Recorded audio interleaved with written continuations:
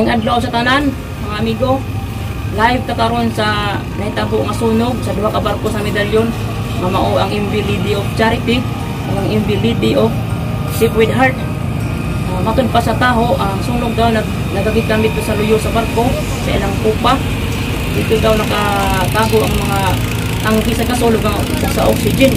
Dito daw nikalit og buto, bumo kanini kailap ang kalayo.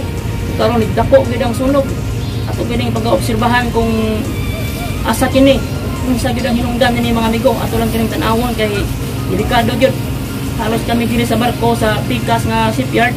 Kay ni aman kana na hitabo sa, sa Sandoval shipyard. Sikpit na mo sa nagasaka.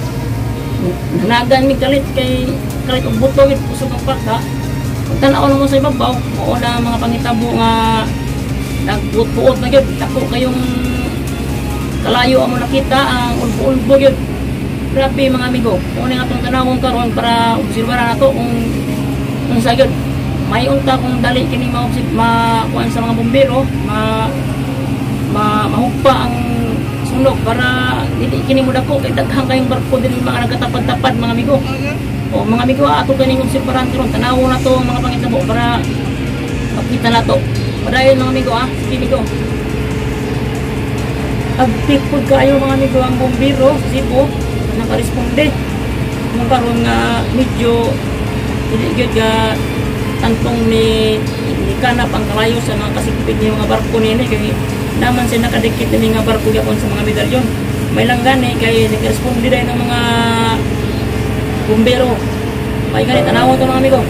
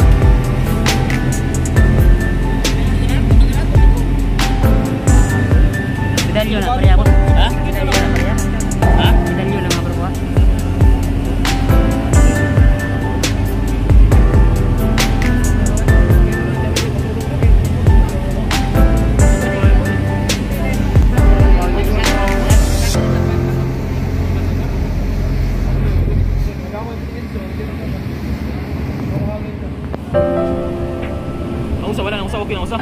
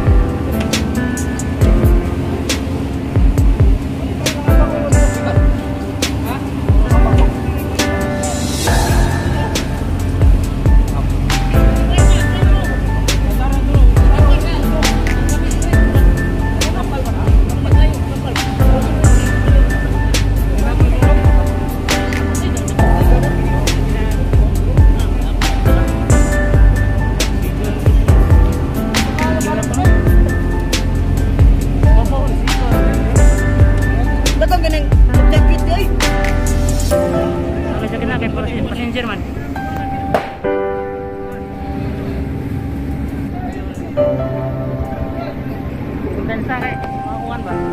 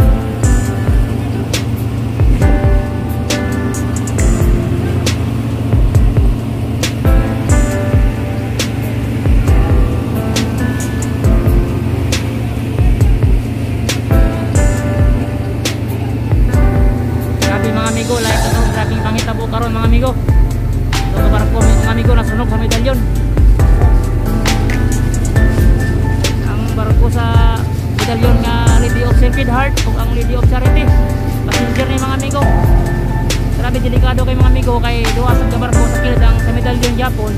Nga gibantayan karon. Kay ang sunog wa pagyapon na paong ganiharan ni mga amigo. Sabi na sana kayong rescue din ng mga fire truck. Huwag yapon mahuman mga amigo.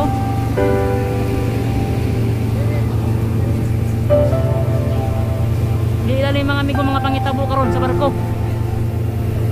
Wala pa tama sayod kung labi na trap diri nga tao or kalau isa Ginoo unta nga wala unta ang mga crew diha nga talanganin diha ba. Kay delikado kay mga amigo. Kinihar gina. Mga 1 hour na.